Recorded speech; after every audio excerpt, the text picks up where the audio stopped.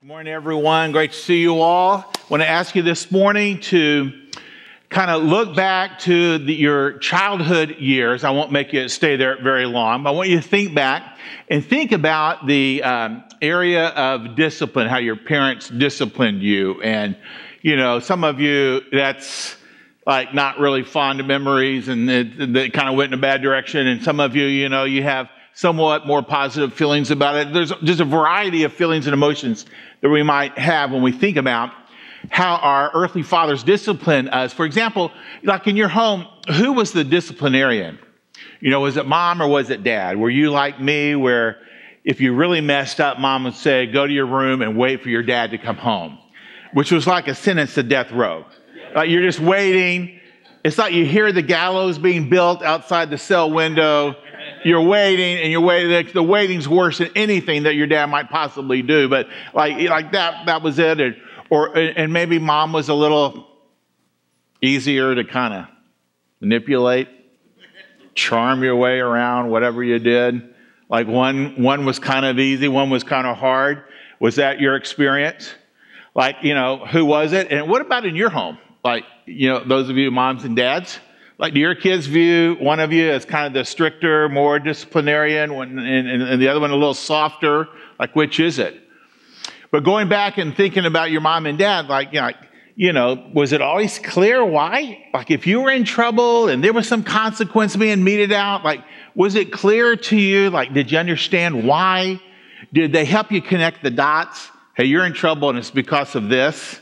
Or you're in trouble and, or, or, or maybe it's just that hey, we're trying to help develop this, this character in you. We're trying to help develop, and so we're going to, you know, enforce this kind of discipline or this kind of rule. You know, was it clear? Did they, did they connect the dots?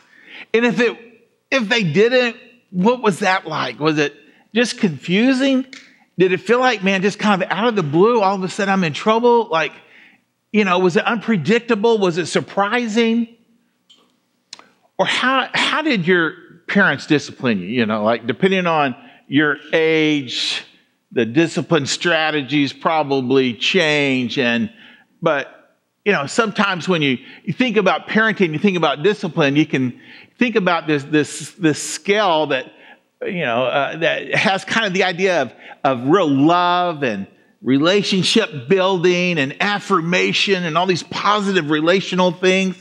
Know, on the other end is this kind of idea of rules and discipline and consequences for wrongdoing. And, you know, both of these things are kind of really important. Like you, you, it'd be nice if our parents walked perfectly in balance with those things, but your parents weren't perfect, my parents weren't perfect, and we aren't perfect as parents. And so what happens is you tend to kind of drift to one of those sides, right? And so, like, maybe your, your parents really drifted or your dad drifted to the side where, um, man, I just really want you to know that I love you. And so I've kind of, you know, not going to ever correct you. In fact, I, what I really want to do is show you how cool I am. I want to be your friend. And they were real permissive, and there wasn't much discipline. Or maybe your dad or whoever was the, the, the disciplinarian really drifted to the other side and said, Man, listen, there's right and wrong, and we're going to get this right. And man, there's going to be a lot of consequences. And they were really strong in this area, but there wasn't much love. There wasn't a lot of affirmation. There wasn't a lot of tenderness, just really a lot of toughness. And maybe you had one that kind of, you know, went to one of those sides. Maybe a dad was absent. And so you had a, a single mom who was doing the very best she can, pedaling as hard as she could, working two jobs. And as a result, you just kind of were by yourself a lot. I mean, she's working just to kind of put food on the table, and you get home from school, and maybe you were one of those, uh, you know, latchkey kids, and, and you just come home and and as you grew up and got older, you realized you could pretty much do whatever you wanted because no other one was around and no one was going to really discipline you in that sense. And looking back on it right now, you're thinking, man, I wish I would have had more discipline. I wish I would have had more discipline. I might not have gotten in with that crowd. I may not have made those choices. if I just had some more discipline in my life. Maybe dad was absent. Or in one of the worst scenarios, what if dad was abusive? And so, you know, there was never this controlled spanking, it was physical abuse. And so when I talk about discipline, you have the very worst memories that you're still recovering from. And so when we come to a passage like this morning that's going to talk about God, our Father who disciplines us, that as soon as you hear that, that all of us tend to grab all of our past recollections, memory, uh, memories, feelings, whether bad or positive, and we bring that into this passage, and we can hardly imagine a God who would discipline us any differently than the way that our parents did. Because you see, one of the questions when you think back about your childhood was that did you cooperate with the discipline? Or did you primarily look back, did you were, were you provoking power struggles all the time with your parents? Or when they did discipline, when they did bring in consequence, did you receive it? Did you listen to their voice? Did you respond to it? Did it have a positive impact on your life? Which is basically the question that I want you to think about right now.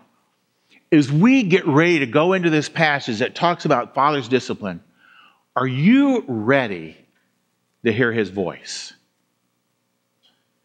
Or because of this topic, you've already shut him down. In fact, maybe right now you're thinking about getting up. This man, I don't want to talk about, I don't want to hear this. This is a topic that you may feel like is very heavy. In the way I've approached it, it does feel heavy. But I want you to know that what God does with us in the way of discipline, it's not like the bad memories that you have. There's something very good and holy and righteous, something that we should be very appreciative for. So I want to pray for us again, and then I want you to turn to Hebrews chapter 12. And we're going to look at this area. And, and the challenge to us is do you dare to be disciplined?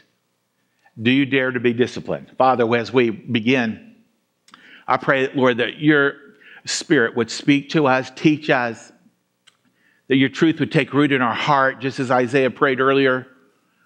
Uh, Lord, we acknowledge to you out loud together as a family of believers that we need your Holy Spirit to give us insight, help us understand truth accurately, and then to apply it, Lord. Give us faith and courage to apply your word. And so, uh, Lord, we come as your children, we come as your sons and daughters under your loving hand. Lord, help us understand uh, the role of discipline, Lord, in our lives. We pray this in Jesus' name. Amen. Now, one word of definition before we go forward. Obviously, sometimes we use the word discipline in the sense of, uh, you know, like your spiritual disciplines, having a quiet time, prayer, hey, you know, bring some discipline in your life, like exercise. We don't want to talk about that. Uh, that kind of discipline. That's not what we're talking about. We're talking about the kind of discipline that is more corrective in nature, uh, not, not punitive, as you'll see, but more formative that God does in our life. So, having said that, uh, we, we want to look at three things. First of all, like what's the role of discipline? And then what's our response to discipline? And finally, like what's the result uh, that God has in mind with discipline? So that's what we'll do first. And in the uh, first part of our passage here, uh, talking about this role of discipline, that what we're going to do is talk about how discipline is actually the proof of God's love. It's the proof that you're in the family. Watch how this unfolds. Uh, we finish up from the last week's verse, um, last week's passage in verse 4 in your struggle against sin, you have not yet resisted to the point of shedding your blood. Um, in verse 5, and have you forgotten the exhortation that addresses you as sons? Now he's going to quote from Proverbs 3 11 and 12. He says, My son, do not regard lightly the discipline of the Lord, nor be weary when reproved by him, for the Lord disciplines the one he loves and he chastises every son whom he receives. It is for discipline that you have to endure. God is treating you as sons. For what son is there whom his father does not discipline? If you are left without discipline, in which all have participated, then you are illegitimate children and not sons. Besides this, we have had earthly fathers who disciplined us, and we respected them. Shall we not much more be subject to the Father of spirits and live? For they disciplined us for a short time, as it seemed best to them. But he disciplines us for our good, that we may share his holiness. For the moment, all discipline seems painful rather than pleasant but later it yields the peaceful fruit of righteousness to those who have been trained by it. Why don't we pause right there for a moment? And you can see as uh, we read through there that one of the things that you draw immediately, somewhat obviously, is the mere fact that, that God disciplines is the very proof that we belong to Him, that we're part of His family. Uh, you know, uh, uh God disciplines us because we belong to Him. If I'm walking down the mall and uh, um, you know I see you know a, a child acting out, I'm not going to walk over them and uh, you know discipline them. They don't belong to me. I, you know, I might say something if, if they're in destructive mode, but but I'm not going to like discipline them like I would my own child. In fact, the children that I discipline because they belong to me. And one of the things that he says here is that look, discipline isn't the sign of rejection.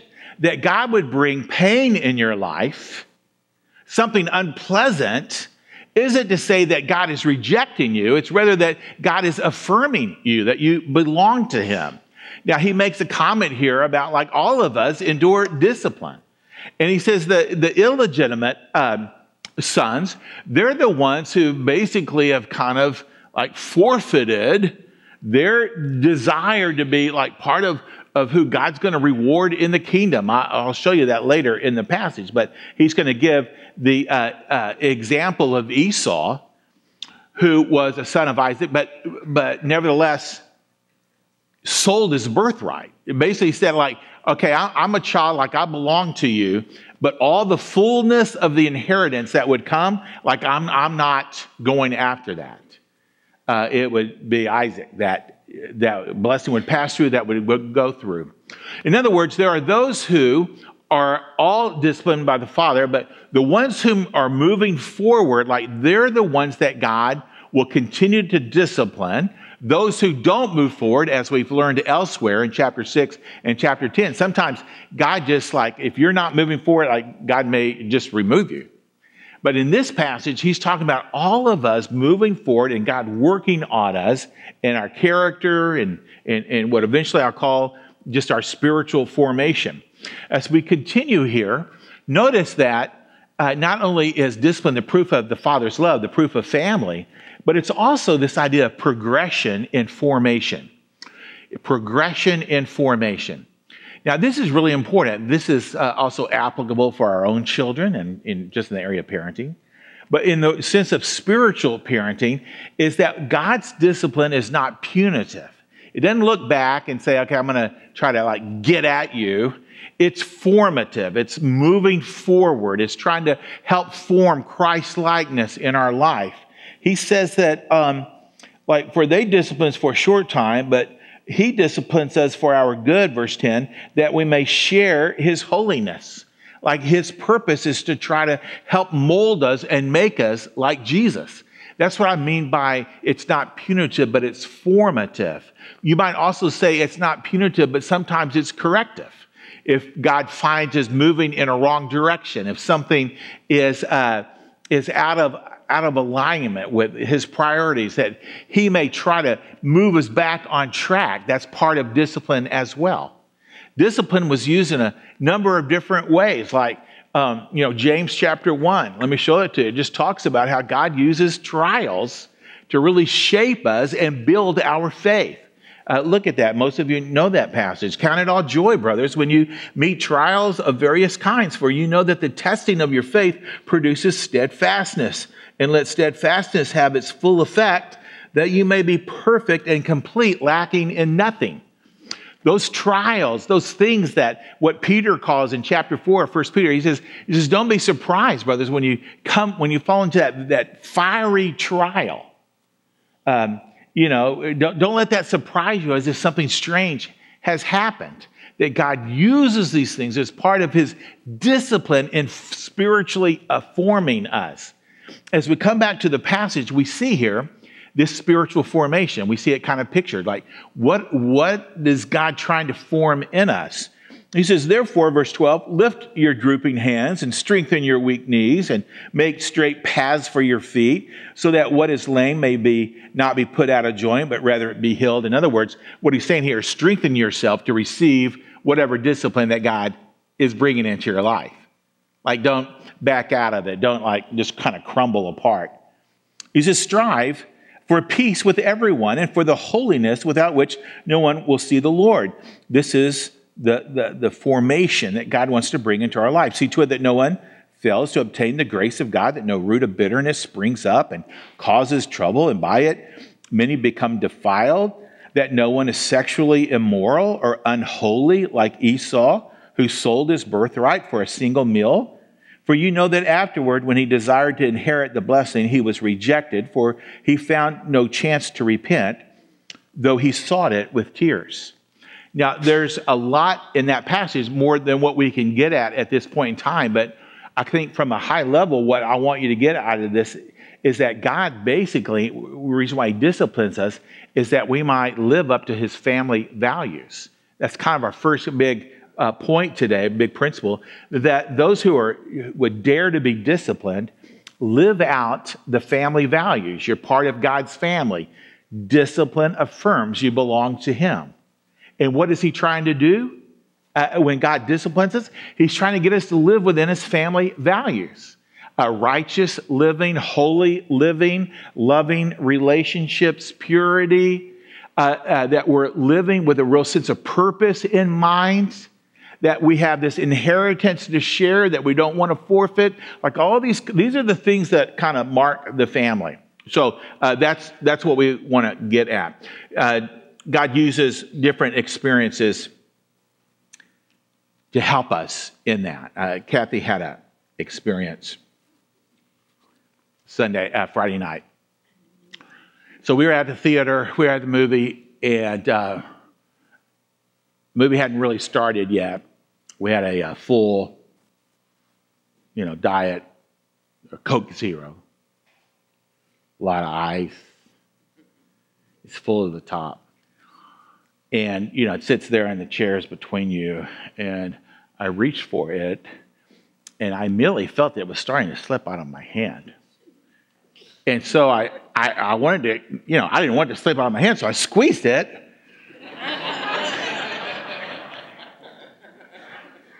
And, and, and the Coke started blew the top off of it and and then before you knew it the whole thing had emptied into her laps and she jumped up. And she just jumped up, and you know, there's people in the theater.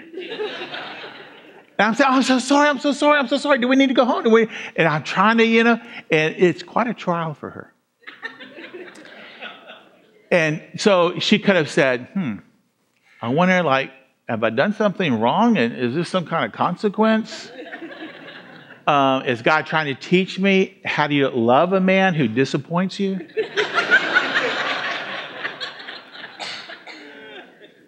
It's a trial.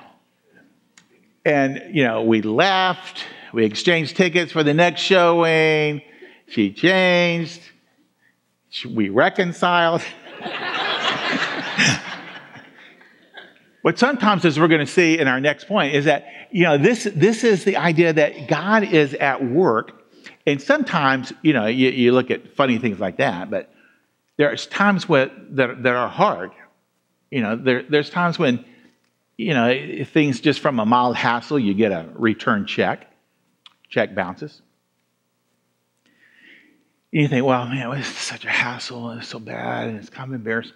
But then you think, okay, God maybe is saying, you know what? When are you going to take some time and really get your finances under control? When are you going to actually take some time and develop biblical stewardship in your life? Or, you know, more seriously, like you get pulled over, you get a DUI. And God is saying, Do you think alcohol is getting too much control in your life?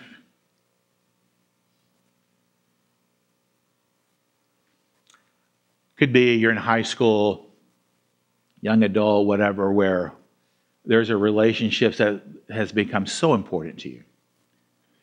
In fact, you have attached your emotional well being to that relationship. And she or he breaks it off. And all of a sudden, that which you were depending on goes away, and you're, you're left thinking, okay, God, have I started looking to other people and things for life instead of you? And sometimes God brings into that moment an opportunity for us to refix our dependence completely on Him. That those possessions and people He brings into our life can be real blessings, but they're secondary blessings at best. But when we make them primary blessings, they become idols in our life. And God, because He loves us, because He wants the best for us, takes us through times that we might call discipline trials, where He strips away from us those idols that are robbing us of the very life that we want. That can be the case. That's an example of discipline. C.S. Lewis said this God whispers to us in our pleasures. He speaks to us in our conscience, but show, but shouts in our pain. It is his megaphone to rouse a deaf world. Sometimes it's in the midst of some kind of suffering or pain where God is trying to realign us with him. That's discipline, has love as its motive. Okay, the role of discipline then is that we would live out the family values. The second thing as we come back to the passage I want to talk about, well, how do we respond in discipline? And, and basically, the big idea here, before I start reading, is that if you're going to uh, respond to the, uh, uh, God's discipline for the family values, you've got to listen to his voice. You've got to listen to the Father's voice. And in the next section of Scripture, the writer of Hebrews does something really interesting. He's going to talk about the Father's voice. And he's going to talk, first of all, about uh, the Father's voice that came out from Mount Sinai, um, where the Old Covenant, the, the Mosaic Law, the Ten Commandments were given. And he's going to contrast that with the New Covenant. And in fact, let me just kind of read this and then we'll, we'll build a chart here together, contrasting these two ideas. You'll notice, first of all, verse 18, I've highlighted this in yellow. For you have now come, I'm sorry, for you have not come to what may be touched in a moment, he's going to, uh, when we jump down to verse 22, he says, But you have come. All right, so there's a there's a place where you haven't come, there's a place that you have come. The place that you haven't come, he, he goes on and says, For you have not come to what may be touched, a blazing fire and darkness and gloom and a tempest and the sound of a trumpet and a voice whose words made the hearers beg that no further messages be spoken to them, for they could not endure the order that was given. If even a beast touches the mountain, it shall be stoned. Indeed, so terrifying was the sight that Moses said, I tremble with fear. Now, if you write down Exodus 19, and you, later you can go back and read in Exodus 19, this is the very scene where God is speaking and he's calling the people up close to the mountain so that they can hear God speaking to uh, Moses and thus believe that this is God really speaking. And uh, it, it's a pretty uh, descriptive display of God's power and awe, and the people are intimidated by it. And then uh, he goes on, he says, in contrast, verse 2, but you have come to Mount Zion and to the city of the living God. Mount Zion would be Jerusalem. You know, and, and it's the place issuing the new covenant but you have come to Mount Zion and to the city of the living God, the heavenly Jerusalem, and to innumerable angels of in uh, festal gathering, and to the assembly of the firstborn who are enrolled in heaven, and to God the judge of all, and to the spirits of the righteous made perfect, and to Jesus the mediator of a new covenant, and to the sprinkled blood that speaks a better word than the blood of Abel. You think, what in the world is that? Speaks of better blood than the blood of Abel. Okay, well, let me, let me just try to contrast this a little bit more for you. So I want you to see that, uh, that the, in this contrast, you've got, first of all, the voice from Sinai. Okay, the Father's voice at the giving of the Ten Commandments, and you got the voice from Zion. And the voice from Sinai is where the Old Covenant was established, or the giving of the law, the Ten Commandments. Uh, which happens in chapter 20 of Exodus. Chapter 19 describes the, the, the, scene that we just read here. And then under the voice from Zion is the new covenant, obviously, as, as we just read. From the voice from Sinai basically brought fear. It brought fear and distance. It didn't draw you near as the new covenant does. Uh, one brought fear, one brought you near to God, as we've been learning in the book of Hebrews, where they've been contrasting the new covenant as the better covenant over the old covenant.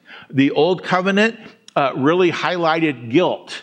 The old covenant established here are the holy standards of God that you have to live up to, which none of us were able to live up to. The nation of Israel never could live up to the holy standards. And so there was this sense of guilt and shortcoming all the time. Whereas the new covenant really was the emphasis about grace First of all, that uh, in God's grace that He provided forgiveness for the fact that we couldn't live up to His standards. But then with the new covenant, God gave us a new provision, the Holy Spirit. And that new provision actually provided for us the power that the Old Testament believer didn't have to obey God. The Holy Spirit stirs us up our desire and strength to obey God. And then finally, the Old Covenant, voice from Sinai, was really one of judgment. In other words, because you're failing, there's going to be these judgments to, to, to follow. Whereas with the new covenant, what was there was uh, justification, that you've been declared righteous. Now, that's kind of what's going on with this blood of Abel. You remember the story, uh, Genesis 4, Cain and Abel. Uh, Cain uh, kills his brother Abel, who had made a righteous sacrifice to God.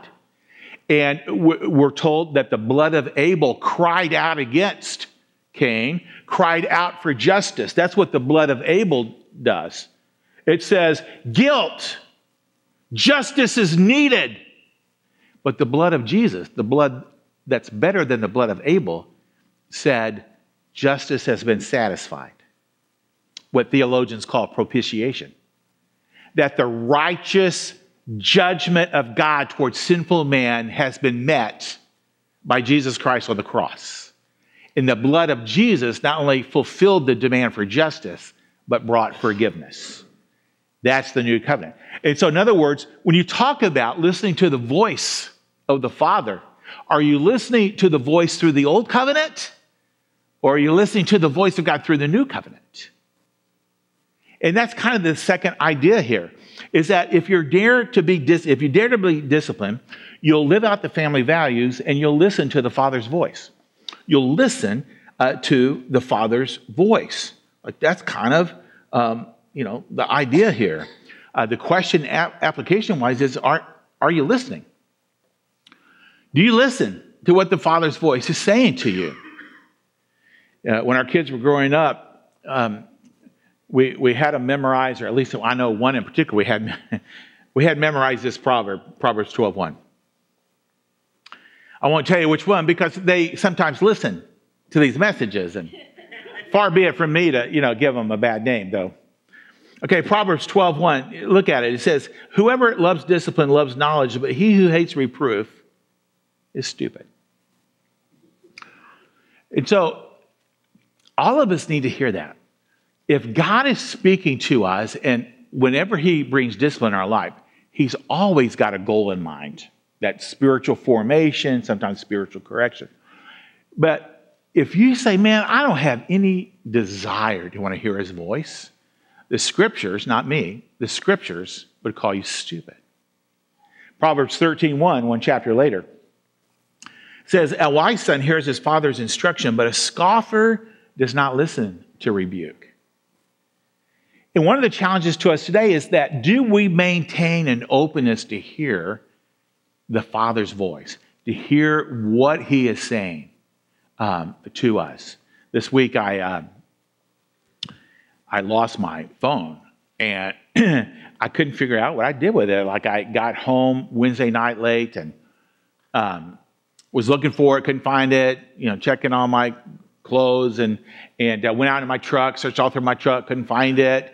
And I figured, well, maybe I left it at uh, this place I'd stopped for dinner.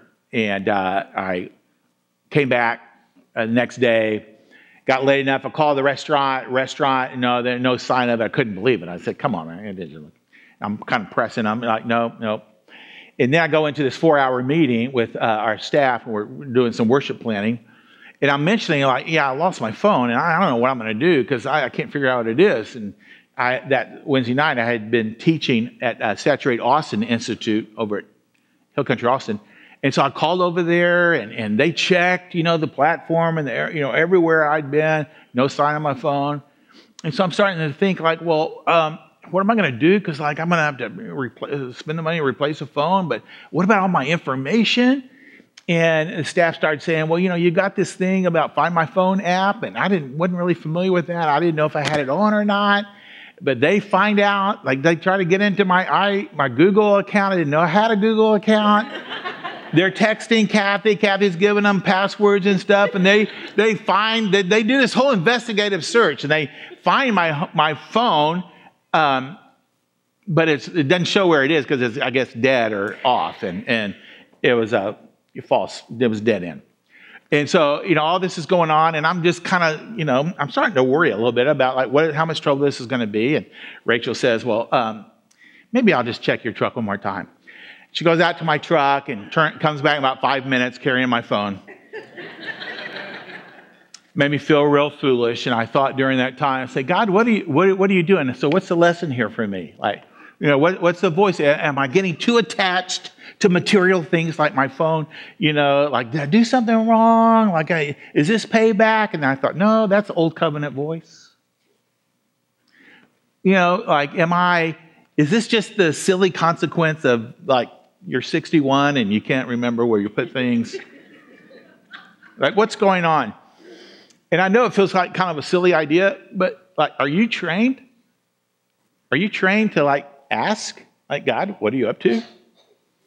What's the Father's voice? Is there something He's trying to say to you? Can you think of a time?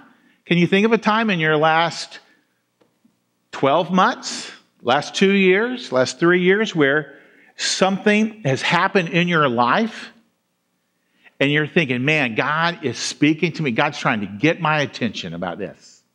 And did you respond? Did it bear fruit? You know, because God loves you, He's trying to form you. One of the things that we love to say is that, you know, God loves you just where you are. But He loves you so much, He doesn't want to leave you there. God wants to move you forward. God loves you just where you are and commits Himself to you for the rest of eternity if you place your trust in Christ. And then He's going to work with you to help you move forward. That's what it means to listen to the Father's voice. It's to ask and to learn what uh, He's doing. I have people sometimes come in for marriage counseling, and very rarely does the man say, Hey, Danny, I'm just here because I just want to be a better husband. I just want to love my wife better. Very rarely does a woman say, Danny, I just want to, I just want to learn how to love my husband better. You know what they're saying. They're saying, look, Danny, my wife's not loving me the way she should, and I want you to fix her. Now, sometimes they don't say that word as directly, but that's what they're saying. She's going, you know, you know, Danny, my husband's really letting me down. Can you fix him? And that people are primarily looking for that. Do you know when pain comes into your life, the temptation is to focus exclusively on relief as opposed to formation. Moving forward, how, how, how, God might use this in one of three ways that I, I like to use a lot, like that God's trying to increase your intimacy with God, or He's trying to deepen your dependence on God, or He's trying to help you develop a richer reflection of God. Very rarely are we asking those questions. Most of the time we just want relief. And when God doesn't cooperate with that, we get so upset with Him. We're, we're, we're really upset. But God is saying, listen, I love you. I want to form Christ likeness in your life. And there'll be times when I will assign or allow pain in your life that is designed to build into you increased intimacy with me. How many times does your little son or daughter, when they're hurt, come into your lap and throw their arms around you? Increased intimacy. How many times have you ever felt like, you know, that you're growing in the depth of dependence on God? I mean, we read this idea out of the Lord's Prayer about, you know, give us this day our daily bread, and you can't even relate to that. You know, you've got a full week of groceries in your pantry. Some of you have a whole month. Like, there's no sense of dependence on God. But then things can change, and you find yourselves like with very little. And then depending on God becomes a whole new experience. Some of you have experienced that. Deeper dependence, a richer reflection. In other words, that your life reflects to the world a contagious love for Jesus. But there are things, impurities, or inconsistencies in your life that God's trying to root out of your life. He's trying to bring the fire to raise the impurities to scrape them off so that you might more richly reflect Him to the world. That's what God does. And we must listen to the Father's voice and cooperate with Him. That's what He's up to. Finally, uh, we need to look at this last one, which is what I'm calling the result of discipline. And uh, uh, uh, let me pick up again with verse 25. It says, See that no one refuse him who is speaking. Like, you know, don't listen, don't fail to uh, hear the Father's voice. See to it, to it that no one refuses him who is speaking. For if they did not escape when they refused him who warned them on earth, much less will we escape if we reject him who warns from heaven. At that time, his voice shook the earth, but now he has promised, yet once more, I will shake not only the earth, but also the heavens. This phrase, yet once more, indicates the removal of things that are shaken. That is, things that have been made, in order that the things that cannot be shaken may remain. Now, you may have gotten lost in there, but what he's basically saying is that the day is coming when God's going to renovate this world. He's quoting out of uh, uh, Haggai chapter 2. he says, Look, this, this, this pleasant this present place.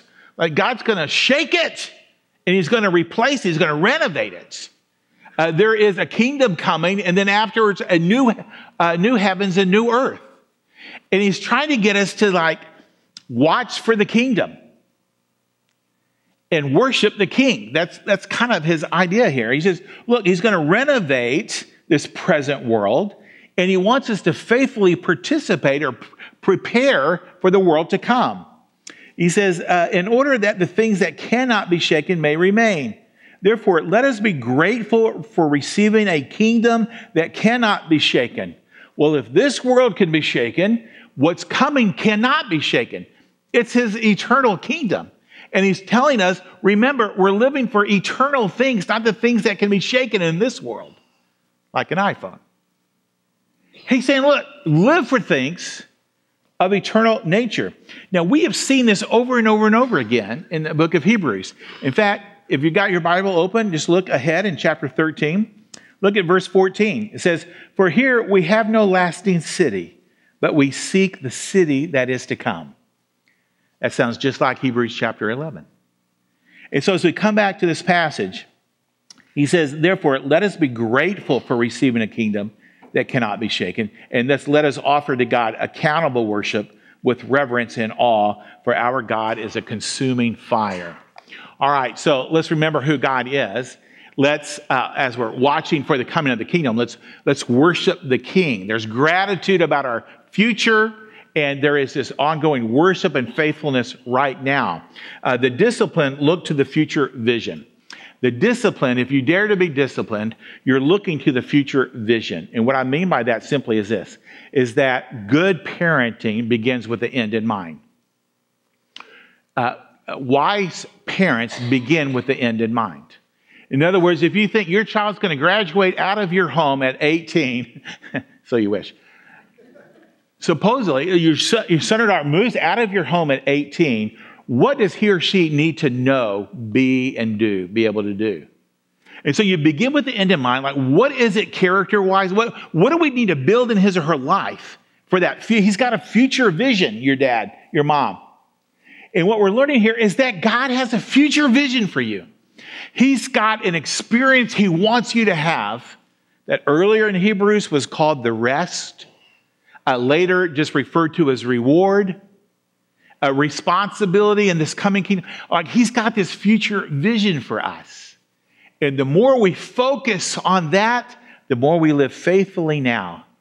The more we watch the kingdom, the more we will worship the king. C.S. Lewis said, It is since Christians have largely ceased to think of the other world that they have become uh, ineffective in this one. I want to ask you to pray with me get our worship team to come out. Uh, Lord, uh, I pray that you would give us courage and faith to open our hearts and our ears to hear from you, Lord. What is it that you're doing with us? That, Lord, right now, many of us may be in a season of just blessing. Like, Lord, you're just blessing us, like our relationships, our finances, our health, Lord, everything is going so well, and though we don't try to fix our happiness on that alone, we just give you thanks for, and, and for the joy of, of great circumstances. But Lord, for some of us, we're facing some hardships. And I pray that you would give us ears to hear, Lord. Is there something that you're saying to us? That we would routinely ask, what does faith look like here?